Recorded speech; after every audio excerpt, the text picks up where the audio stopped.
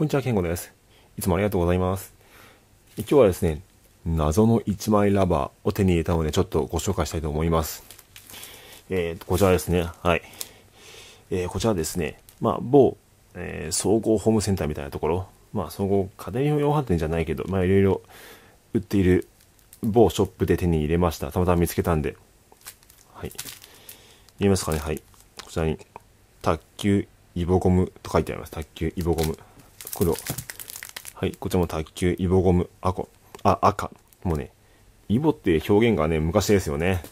もう私は中学で卓球始めた時はもう、もうイボじゃなくて、粒っていう名前と統一されてたんで、イボっていう名前をこれつけというのはちょっと謎ですけど、でね、こちらですね、えっと、その、まあ、総合ホームセンターみたいなところ、のえっと、ゴムとかスポンジとかの素材を売っているフロアでたまたま見つけました。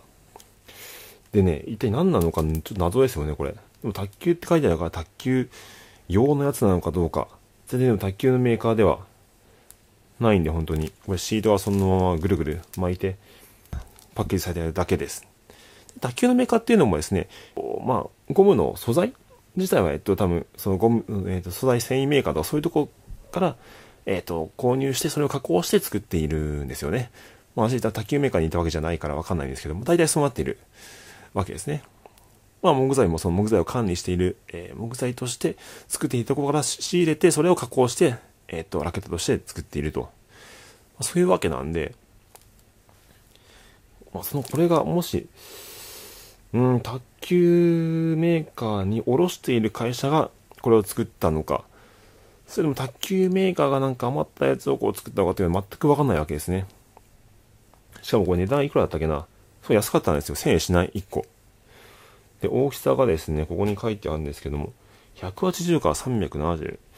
これミリなんですかねでもミリだったらもうこの大きさ超えてるんで、でもセンチだったらこれそうですね、1メートル 80×3 メートル70、そんなでかいのかなっていう、ちょっと、全くわかんないですよ、これ。そう今言ったあの、卓球、え、卓球じゃないや、えっと、総合ホームセンターみたいなとこ、卓球とは全く関係ないお店なんで、これは一体どういうものなのか。まあ、とりあえず開けてみようと思います。開封です。はい。よいしょ。あ、でもビリビリビリになっちゃった。もう一回同じ形戻すのは難しそうですね。よいしょ。よいしょ。はい。よいしょ。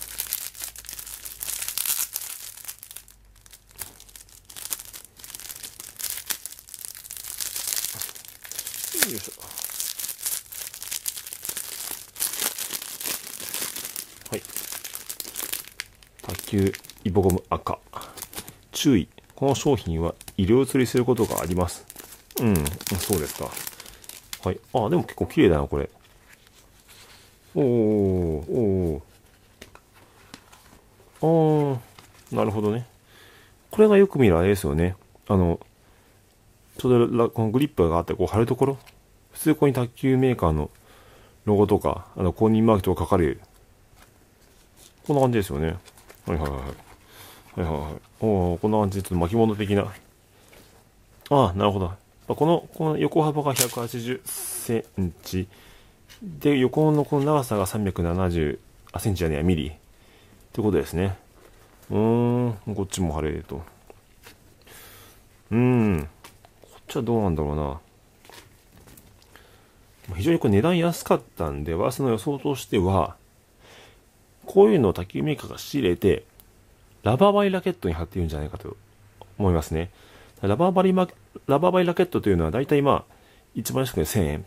高くても2200円、2500円ぐらいかな。なので、あれ多分、全然もう、えー、素材の、何ですかね、原価はかかってないと思うんで、なんで、こういうのを仕入れて、まあ、もうすでに出来上がってるやつ、ここここまで加工されていて、まあ、質もそれほど高くないのを仕入れて、まあ、スポンジも同じように質も高くない安いものを仕入れて、えー、っと、貼り付けて、ラバメラケットとして出しているのではないか。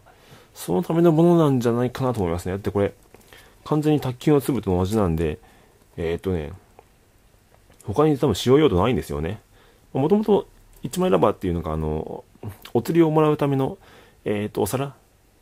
に、えっ、ー、と、それを見つけた、えっ、ー、と、確かイギリスのグッドさんという方ですけども、その方が、その薬局でお釣りをもらうときに、その、の、お釣りを入れる、えっ、と、お皿に、この、ブツブツがあるのを見つけて、それをラバーとして使ったのが最初と言われていますけれども、これちょっとね、それお釣りに使えませんよね。完全に卓球ラバー用に見た目と同じなんで。